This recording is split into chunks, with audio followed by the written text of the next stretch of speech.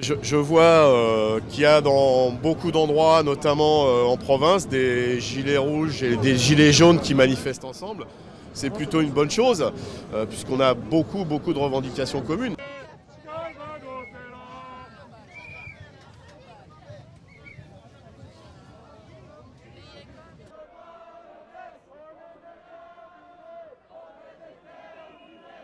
Ils sont rassemblés ici.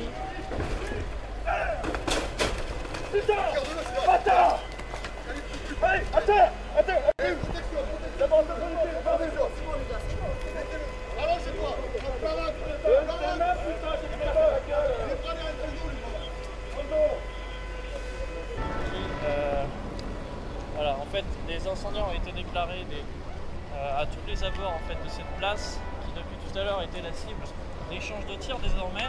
Bien, ce sont des incendies sporadiques qui sont déclenchés tout autour. Vous voyez, on va essayer de se rapprocher pour savoir.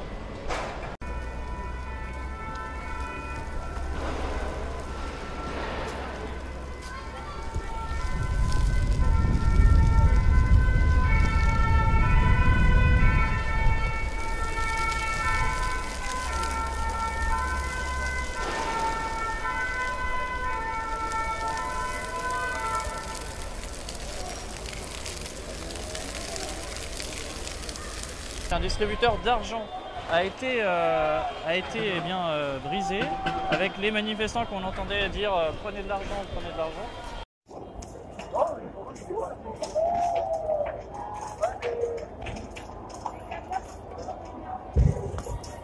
Alors, on est littéralement dans une violence et une organisation et surtout une échelle bien plus importante que les Gilets jaunes. J'étais moi-même le 1er mai avec une autre organisation euh, dont sûrement de nombreuses personnes sont ici aujourd'hui.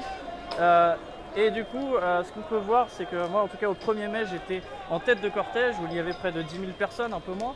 Euh, et ce cortège qui était pacifique était euh, bien précédé par une poignée de casseurs, environ 300. Les, les- chiffres étaient entre 100 et 300. Et si les violences avaient duré 2 à 3 heures et étaient extrêmement localisées sur ce point, ici, on peut le voir, ce sont bien des violences différentes. Là, vous le voyez ici, c'est l'un des points. Alors malheureusement, nous ne sommes pas à d'autres points violents. Heureusement que Vincent Roson peut nous rapporter des messages des endroits pacifiques. mais voilà, on peut voir des violences et je doute que ce qui se passe derrière moi soit le seul endroit de Paris dans ce cas.